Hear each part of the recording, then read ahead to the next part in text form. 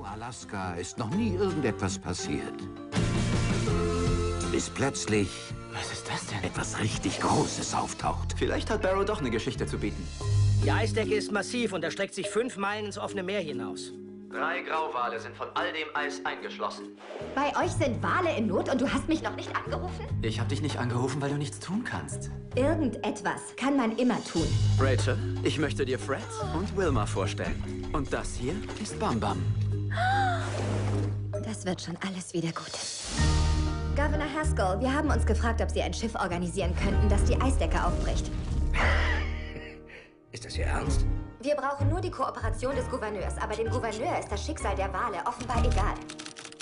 Ich hasse diese Frau. Wir werden alles Menschenmögliche tun, um diesen armen Tieren zu helfen.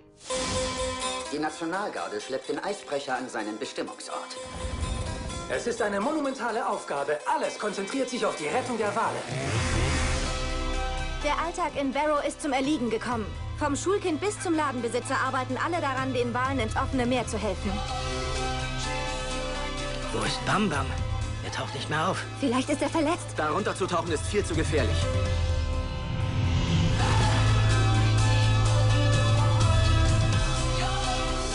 Der einzige Eisbrecher, der rechtzeitig vor Ort sein könnte, gehört den Sowjets. Ich will verdammt sein, wenn ich die Roten hier die Helden spielen lasse. Dann werden die Wale sterben. Auch wenn sie ziemlich groß und stark sind, sind sie uns doch sehr ähnlich. Auch wir sind verletzlich. Auch wir haben manchmal Angst. Und auch wir brauchen manchmal Hilfe.